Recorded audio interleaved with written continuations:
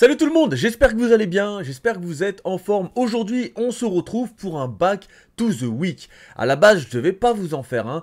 Euh, je vous ai proposé de voter soit entre un gros gameplay euh, sur BF1 au fusil à pompe, soit euh, pour la vidéo justement back to the week.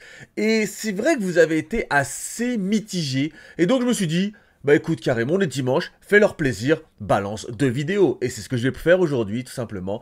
Aujourd'hui, à partir de, bah, du moment où vous regardez la vidéo, vous avez le Back to the Week. Et ce soir, vers 18h30, 19h, je vous balance le gros gameplay sur BF1. Je vous conseille d'aller le voir parce que franchement, c'est vraiment un gameplay qui, je pense, va vous faire kiffer. Allez, on est parti.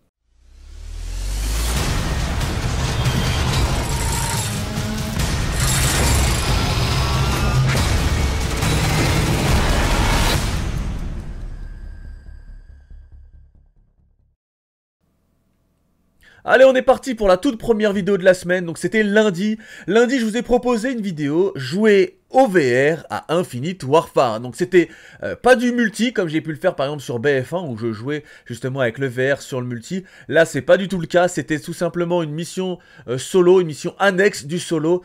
Et euh, sincèrement, euh, la vidéo vous a plu, mais ça n'a pas été non plus un truc de, malade. Euh, moi, en tout cas, j'ai kiffé la faire parce que c'est vrai que c'était une, expérience assez, assez hallucinante. Mes, mes, impressions ont été vraiment très très bonnes. J'ai, L'expérience VR, c'est toujours la même chose, c'est que vous, vous avez le gameplay, vous pouvez ne serait-ce qu'imaginer ce que moi je peux vivre, mais nous, euh, lorsque l'on utilise justement le VR, euh, c'est assez hallucinant pour ceux qui ont déjà pu le tester. Donc là, je vais regarder un petit peu les commentaires. Donc, super vidéo Karim, mais un truc que je ne supporte pas dans tes vidéos, c'est que des fois, tu parles, mais tu t'arrêtes en plein milieu de la phrase. On sait pas pourquoi. On sait pas pour. Mais je pense qu'il va vous dire, on sait pas pourquoi. Ah, je viens de comprendre, mec. je viens de comprendre, je suis trop stupide. Ouais, donc lui aussi, il a fait une Karim. Ouais, je suis désolé. C'est vrai que ça arrive assez souvent. Et malheureusement, ça arrive aussi IRL. Donc j'essaie de me soigner par rapport à ça. Sur les prochaines vidéos, j'essaierai de faire attention. Au calme à la fin avec le VR, tu nous parles même si tu avais des lunettes de... Comme Attends, comme si tu avais des lunettes de soleil. Euh, continue comme ça, tu gères. Continue, comme ça, mec, tu gères. Bah franchement, ça fait plaisir. Ouais, c'est vrai que, en fait, j'ai continué la vidéo avec le verre sous les yeux, euh, tout simplement parce que je filme avec un appareil photo et ce dernier fait la mise au point. Donc, il a fait la mise au point sur le VR. Si j'avais enlevé le VR, je sais pas si la mise au point se serait fait de manière rapide et si vous auriez justement eu mon visage net. C'est pour ça que j'ai gardé le VR pour la fin de cette vidéo. Mais c'est vrai que pour les prochaines fois, j'essaierai de faire attention et l'enlever parce que c'est vrai que c'est assez impersonnel, j'en suis désolé. Vraiment, vraiment un gros kiff. Donc pour décoller, on met... Oh Oh putain Alors attendez, on va essayer de comprendre comment... Ah, c'est magnifique. C'est vraiment magnifique. C'est magnifique. Par contre... Deuxième vidéo de la semaine, donc c'est un qui domine qui avec Pinggeek sur BF1. Et ce genre de vidéos, moi, j'adore les faire. J'adore vraiment les faire. Deuxièmement, euh, enfin, premièrement, parce que euh, ça donne une certaine compétition entre l'adversaire contre qui je joue et, euh, moi-même, bien entendu. Mais aussi et surtout parce que c'est avec Pinggeek. Et vous le savez, moi, les vidéos avec Pinggeek, j'adore les faire. On a une, complicité qui est vraiment particulière, forcément. Et c'est vrai que parfois quand je fais des vidéos comme ça avec elle, les gens ont tendance un petit peu à, chipoter, à, toujours chercher la petite bête, mais bon, moi je kiffe les faire et à partir de ce moment-là, bah moi je le fais quoi. Retour de PG qui fait plaisir, elle m'a tué à sa façon de parler, en tout cas bien joué Karim pour cette première manche gagnée. Donc ça voilà, c'est des commentaires comme ça qui me font kiffer, euh, elle m'a tué à sa façon de parler. C'est pas un mystère, hein. PG a tendance à parler un peu comme un bonhomme. Euh, parfois je le regrette, hein. j'aimerais qu'elle soit un peu plus euh, un peu plus fille. Mais voilà, on peut pas tout avoir. On peut pas avoir une fille qui joue à Call of Duty et qui se comporte comme une fille. En général, bah voilà, ça, reste un petit bonhomme quoi. Alors vous m'avez envoyé du rêve sur cette vidéo. Euh, sur cette vidéo, sérieux, on voit que vous kiffez à mort, c'est un plaisir pour nous. Euh, désolé, je parle au nom de tous. Bien joué V12 en tout cas, on voit que PG a la rage MDR. J'ai juste une petite remarque, Karim, est-ce que tu penses que tu pourrais faire un montage ou un écran scindé sur vos deux gameplays quand vous jouez? Euh, quand vous jouez ensemble, je pense que ce serait kiffant, sinon bien wesh.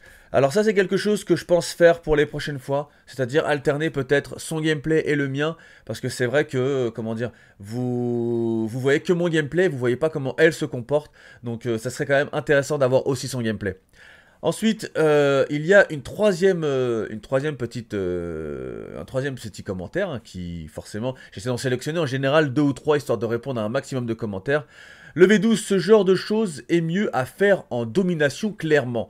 oui, pourquoi pas, pourquoi pas, sur le prochain épisode, on le fera peut-être en domination, et s'il y a un, épisode, enfin, s'il y a un troisième épisode, parce que PG, on va dire, aurait, aurait gagné le deuxième, pourquoi pas peut-être le faire en mode pigeon ou justement en conquête.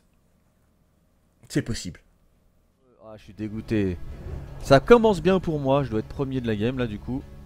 Ah, t'as posé enfoiré? Eh oui, c'est Poto qui a posé. Là, on va se battre. Là, je te dis, là, on va se battre pour jouer les objectifs. Hein. Eh, respawn. Allez, go, go, go. Mercredi, mercredi, je vous proposais un unboxing de l'édition collector BF1. Et comme d'habitude, euh, vous kiffez ce genre de choses. Vous aimez beaucoup les unboxings et moi j'adore les faire. Donc euh, si je pouvais vous faire encore plus d'unboxings, franchement je serais heureux. Donc euh, n'hésitez pas à m'envoyer plein de box. Enfin, n'hésitez pas à m'envoyer plein de trucs que je pourrais ouvrir. Non, vrai, je plaisante, mais c'est vrai que ça pourrait être sympa, dans genre recevoir des, petits colis, des petites boîtes euh, avec euh, des trucs à la con à l'intérieur, ne serait-ce que pour faire des unboxings, tu vois, sans, sans avoir forcément des choses mirobolantes à l'intérieur. Donc au niveau des commentaires, quelqu'un sait où on peut avoir son t-shirt. Alors je vais te répondre parce qu'il y a eu quand même beaucoup de commentaires par rapport à ça. Le t-shirt vient d'AliExpress. Oui les potes, ça vient d'AliExpress. Donc il faut pas être pressé pour avoir le, t-shirt. En général quand vous le commandez, euh, ça met facile un mois avant d'arriver. Parce que bien, sûr ça vient de Chine. Mais voilà, ceux qui veulent savoir, j'ai déjà d'ailleurs pas mal de t-shirts qui viennent d'AliExpress. Donc euh, si vous voulez savoir un petit peu, c'est ici. Pourquoi Pingix ne fait pas cette ouverture de colis avec toi? Donc euh, voilà. Cette fois-ci, j'avais envie de le faire tout seul. PG était en train de tourner une vidéo à côté pour elle, donc euh, voilà, c'est pour ça que je l'ai fait tout seul. Mais euh, d'autres unboxings pourront euh, très facilement se faire avec elle. Il n'y a pas de souci là-dessus. Ensuite, dernier commentaire, je fais jamais la campagne. Donc là, la personne me cite. Erreur Plusieurs points d'exclamation. Je sais, surtout que la campagne de BF1 est tout simplement magnifique en termes de, de graphisme ça n'a rien à voir avec le BF1 qu'on a sur le multi. Euh, au niveau du solo, c'est vraiment magnifique et c'est vrai que ça, c'est peut-être un tort. Euh, mais voilà, il y a beaucoup de jeux à couvrir cette année au niveau du multi. Il y a les Call of Duty, il y a Titanfall, il y a BF1 et bien d'autres. Et c'est vrai que j'ai voulu foncer sur le multi plutôt que m'intéresser au solo. C'est peut-être une, erreur. Ah, ça c'est chaud Voilà, il n'y a rien au fond. Donc la boîte est vide. Donc en fait, tout se passe dans cette boîte. Allez, on ouvre ça tranquillement. Alors jeudi, je vous proposais tout simplement la plus belle partie de ma vie au sniper. Vous le savez, le sniper c'est pas non plus mon arme de prédilection, mais sur BF1 j'aime beaucoup jouer avec ce dernier et euh, je vous ai proposé, je suis, enfin je pense une vidéo, enfin un gameplay euh, assez bon. Euh, d'ailleurs, vous avez été nombreux à me dire Ouais, Karim, franchement, euh, je trouve que tu t'es pas mal démerdé. Et franchement, ça m'a fait kiffer. Ça m'a fait kiffer. Après, il y a toujours les éternels mecs qui vont dire Ouais, mais ouais, franchement, bon, bof, mec, pas si ouf. Mais bref, en, en règle générale, vous avez kiffé mon gameplay. J'ai quand même été relativement en mouvement pour un sniper. Hein, si vous voyez les snipers sur, euh, Battlefield, en général, sont assez, statiques. Moi, j'ai quand même fait le taf un minimum. En tout cas, je le, pense. Alors, au niveau de vos commentaires, bon gameplay, Karim. Ce BF1 est monstrueux. J'ai 40 ans et je te suis depuis, depuis euh, tes débuts. Ça change un peu de maturité sur YouTube et de la sincérité. Tes vidéos me font plaisir. Continue comme ça. Ne change rien. Qui ça vous voilà, ça, ça fait kiffer. Ça, c'est des commentaires qui font kiffer, qui, des personnes qui reconnaissent un petit peu euh, ce que j'apporte de différent par rapport à mes collègues youtubeurs. Je dis pas que mes collègues youtubeurs font pas du bon taf, mais voilà, j'apporte une chose un petit peu, enfin, j'apporte quelque chose de différent et je suis content de, le savoir. Plus de gameplay sur Battlefield et du teamplay en conquête avec la TNT. Ce serait génial. Continue comme ça, Karim. Et eh bah, ben, c'est prévu. C'est prévu. Euh, le premier épisode de Rien à la télé sur BF1, ça ne sera pas en conquête, ça sera en ruée. Mais voilà, on a, on a enfin, on va, proposer régulièrement du, du gameplay sur, euh, sur BF1 en équipe. Ça va vraiment être un gros gros kiff. Je sais pas si c'est le sniper qui est facile sur BF1 ou si c'est ton shoot, mais tu as géré sur cette partie GG poteau. Donc voilà, euh, clairement, je vais être honnête avec toi, le sniper sur BF1, il est pas simple. C'est pas le plus difficile des BF, des BF parce qu'il paraît que sur d'autres BF c'était quand même beaucoup plus compliqué. Sur BF1 c'est un peu plus simple que sur les autres BF. Mais par exemple c'est beaucoup plus difficile que sur, sur Call of Duty. Parce qu'il y a la distance, euh, il y a beaucoup de choses à prendre en compte comme la, la retombée de la balle, euh, l'ennemi qui est en mouvement, vu qu'il est en mouvement sur une plus longue distance, c'est un peu plus compliqué. Mais voilà, en règle générale, je veux dire que c'est pas non plus euh, extraordinairement compliqué. Il faut juste, on va dire, avoir les bons... les, les, bons, euh, comment dire, les bons réflexes et en général, euh, ça passe assez bien. J'essaie de marquer mes, mes, adversaires le temps que voilà le temps que je me réhabitue au Call of Duty et, euh, et, donc voilà vous avez la possibilité de marquer vos adversaires et du coup ils apparaissent. Vendredi, vendredi c'était le jour du zombie euh, avec la TNT, donc sur Zombieland. C'est une vidéo que j'ai longtemps hésité à proposer en tant que telle. Je vous avais, d'ailleurs fait un sondage pour savoir si vous préfériez euh, avoir les deux heures, en, en définitive c'était pas deux heures, c'était 1h30 de vidéo, euh, plutôt que, enfin, ou plutôt avoir une vidéo avec des, des, cuts, histoire de, de récupérer les meilleurs moments. Vous avez été nombreux à voter pour la vidéo en entière. Et j'ai été surpris, la vidéo a très bien fonctionné. Je pense d'ailleurs c'est l'une des vidéos qui a le mieux fonctionné euh, cette semaine. Elle est déjà à 72 000 vues alors que je vous l'ai proposé hier ou avant hier hier? Non, avant-hier. Donc euh, franchement, ouais, c'est un gros kiff. Ça me fait plaisir parce que je me dis que les vidéos longues vous plaisent toujours autant. Donc c'est quelque chose que je vais reproposer assez régulièrement. V12, mec, euh, pour moi, c'est la base de regarder des vidéos de Monsieur le V12 qui durent plus d'une heure. Continue, frérot, ça fait très longtemps que je te suis et ça fait 5 ans maintenant. Non, ça, je, te suis, ça fait 5 ans maintenant. Donc, merci mec, ça fait vraiment plaisir. Euh, quand vous pouvez me, dire ce genre de choses, moi ça me fait kiffer. J'aime beaucoup l'idée qu'il y a une certaine fidélité de votre part. Euh, voilà, ça fait 6 ans que je fais ce que je fais sur YouTube. Et de savoir qu'il y a des personnes qui m'ont suivi autant de temps, ça me fait vraiment kiffer. Je regarde pas car il y a encore cette PG. Un mec qui lui répond pauvre chou. Alors ce commentaire là je l'ai pris tout simplement parce que il m'a fait rire. Il m'a fait rire euh, pour la simple et bonne raison que le mec qui lui a répondu pauvre chou derrière, ça m'a vraiment fait kiffer. Donc voilà, encore des personnes qui se plaignent de la présence de Ping dans une de mes vidéos. Elle fait partie de la TNT, elle fait partie de ma vie. Voilà, pour moi, je, je vois pas où est le problème, surtout que la plupart du temps, vu qu'elle est là, l'ambiance est, est, il y a beaucoup plus d'ambiance. Là, par exemple, je vous fais une vidéo, je suis solo. Je vais pas dire que la vidéo elle est ennuyante, j'espère pas en tout cas. Mais voilà, euh, vu que vous parlez avec une autre personne, c'est toujours plus intéressant. En tout cas, c'est ce que je pense. Sois pas étonné, Karim, sur la chaîne de Monsieur V12, tu aimes, on aime le pompe, on aime les zombies, on aime les vidéos ultra longues. Plus de zombies, ça fait plaisir d'en revoir sur ta chaîne. C'est vrai que je suis assez étonné. En général, les zombies fonctionnent assez bien sur la chaîne Monsieur le Je suis... Pourtant, je suis pas un spécialiste zombie. Euh, je vous avais proposé il y a de ça quelques temps avec Bello un zombie sur euh, la map Saut et elle avait très très bien fonctionné. Donc du custom zombie à venir, vous inquiétez pas, euh, on va en faire toujours autant avec Bello, on aime bien faire ça. Donc, euh, donc voilà, euh, en tout cas, ça m'a vraiment fait kiffer de savoir que vous étiez toujours là sur les longues vidéos, parce que vous savez, c'est un petit peu ma marque de fabrique. Je pense que sur YouTube, en tout cas le YouTube actuel, il y a de moins en moins de personnes qui font des vidéos longues, tout simplement parce qu'ils savent qu'en général, ça fatigue les gens et que les gens ne suivent plus jusqu'au bout, tout simplement. Donc, donc voilà, mais en tout cas, moi, ça m'a fait vraiment kiffer de vous proposer cette vidéo.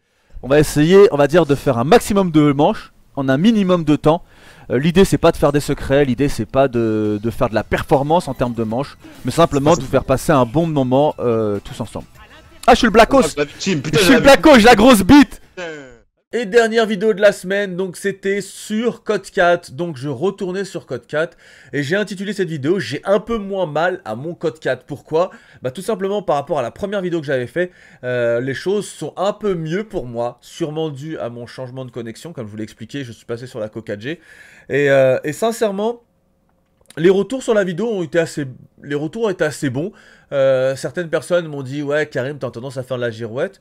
Pourtant, j'ai expliqué dans la vidéo euh, pourquoi j'avais un petit peu changé d'avis. Après, je dis pas que tout est résolu. J'ai dit que, j'ai bien dit, mon titre, c'était, le tout premier titre, c'était j'ai euh, mal à mon code 4. Et là, j'ai écrit j'ai un peu moins mal à mon code 4. Ça veut dire qu'en gros, euh, c'est un peu mieux, mais c'est pas non plus un truc de cinglé.